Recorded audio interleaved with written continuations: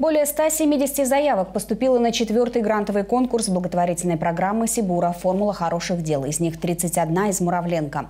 Наибольшее количество заявок поступило по направлениям культура, спорт и здоровый образ жизни, образование и наука и развитие городов. Прием заявок завершен. Конкурсная комиссия приступила к рассмотрению и оценке проектов. Победители объявят в январе 2019 года.